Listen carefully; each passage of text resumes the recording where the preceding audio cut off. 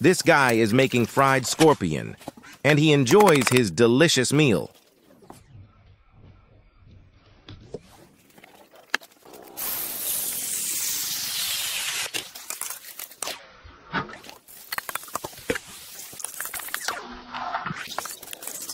Would you eat this? Please write your thoughts and don't forget to subscribe.